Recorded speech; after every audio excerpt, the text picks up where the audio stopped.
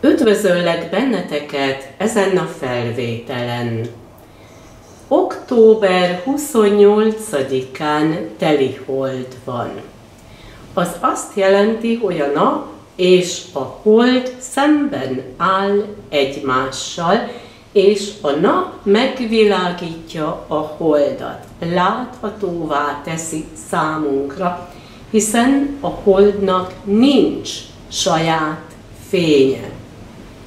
Ezen a napon, október 28-án egy hold fogyatkozás van. És minden esetben itt kármikus témákról van szó. Akár holdfogyatkozás, akár napfogyatkozás. Ezúttal holdfogyatkozás van, és, mint említettem, itt mindig vannak kármikus témák, mert ez a telihold, a hold csomón van, mégpedig itt látható a felfele mozgó kármikus csomó, ráhu, a hold eléri ezt a csomót, és a lefele mozgó kármikus csomó kétu a nap ennek a közelében van. Egy holdfogyatkozásnál vagy egy napfogyatkozásnál mindig minden esetben kármikus témákról van szó. Ezen az estén tartok egy szertartást, ami este 11 órakor indul.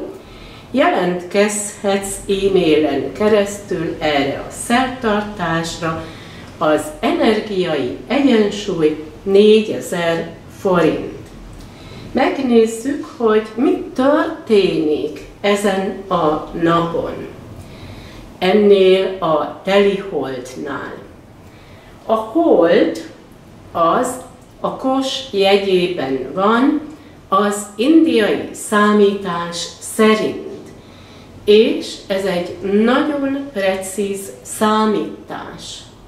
Ha megnézitek azt, hogy mit közölnek az asztronómusok, ők is így írják le, tehát tulajdonképpen ellenőrizhetitek, hogy kinek van igaza. A hold a kos jegyében van, én itt Artemis istennőt tettem ide a tűz elemébe, hiszen összefüggésben áll a holdal, az édesanyák, a gyermekek istennője. Tehát szimbolizálja a holdat. Itt van a közelben Zeus, és Zeus nem más, mint Jupiter bolygó. Jupiter bolygó a kos jegyében van. Jupiter bolygó jelenleg visszafele halad, ez jelentheti a múltat, vagy azt is, hogy fékezi még az eseményeket. Jupiter bolygó szerencsét hoz, hiszen a szerencse bolygója. De jelenti az igazságot, vagy az igazságtalanságokat, és itt ennél a visszafele tekintésnél a múltról van szó. Itt van a kos jegyében Uránusz, és az jelenti a meglepetéseket, vagy a változásokat. Én Vénusz bolygót szintén ide tettem, de Vénusz bolygó vagy Afrodité az nem a kos jegyében van, hanem az oroszlán jegyében, de a tűz elemében. Itt megvan a harmónia, mert a tűz eleme, a kos jegye és az oroszlán jegye, szintén a tűz eleme harmóniában állnak egymással. Rahu, ez a felfele mozgó kármikus csomó jelent egy új irányt, jelent változásokat, ugyanúgy, mint Uránusz bolygó is. Ezen a telihold napon ez a hold csomó még a kos jegyében van, de egy nappal később 29-én elbúcsúzik a kos jegyétől, és áttér a halak jegyébe, áttér a víz elemébe. Ott marad a halak jegyében 18 hónapon keresztül, és indul egy új szakasz. Más kármikus témák hatnak ránk. A halak jegye az jelenti az érzelmeket, az álmokat, a vágyakat, az elképzeléseket. A kos jegyével szemben van a mérleg jegye, és ott van a nap. Itt látható, mint Apollo. A nap megvilágít valamit, jelenleg megvilágít kármikus témákat, hiszen itt van a lefele mozgó kármikus csomó, kétú, ami jelenti a múltat és az érzelmeket. Befele tekint. Ráhu, a másik csomó, kifele tekint. 28-án még itt van a levegő elemében, a mérleg jegyében, és egy nappal később, 29-én átvándorol a föld elemébe, a szűz jegyébe, és a szűz jegyében marad 18 hónapon keresztül. Ez jelenti a múltat, az érzelmeket, és a szűz jegye szimbolizálja a gyógyító erőt, vagy jelenti a reális dolgokat. A halak jegye, ahol Ráhu lesz, jelenti az álmokat, a vágyakat, az elképzeléseket, azzal szemben Kétu ott lesz a szűzjegyében, az jelenti, az hogyan tudnánk ezt megvalósítani, hiszen, az, hiszen a Föld eleme jelenti a reális dolgokat.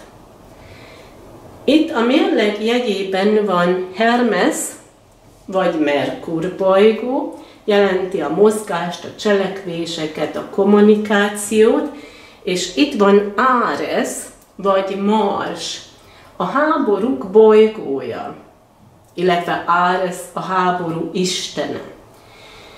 Mivel Mars bolygó, vagy Áres, a háborúk istene uralkodik a kos jegye felett, az egyik oldalon ott van a háború.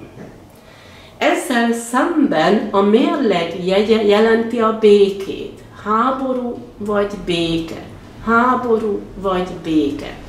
De mivel a háború istene itt a béke területén van, jelentheti azt, hogy sokan befektetik az élet erejüket abba, hogy végre béke legyen, hogy Merkur segítsen, legyenek diplomatikus kapcsolatok, ami a békéhez vezet, de mivel Áres vagy Mars, a háború bolygója, vannak olyanok is, akik nem akarnak békét, hanem szeretnék azt, hogyha ez a háborús helyzet tovább tartana. És ezek a cselekvések, hiszen ez pénzt hoz a házhoz. Én a béke mellett állok, gondolom ti is, hiszen elég volt ebből a háborúskodásból. Az látható, hogy a két téma szemben áll, sokan vannak a háború mellett, de nagyon sokan szeretnék a békét, és a mérleg jegye, ez szimbolizálja, azon kívül a nap megvilágítja ezt a területet, és Hermes vagy Merkur bolygó tulajdonképpen tud cselekedni, tud beszélni, hiszen van itt kommunikáció. Persze Áres az adja az impulzust, és sokan meggondolatlanul cselekednek, vagy meggondolatlanul beszélnek.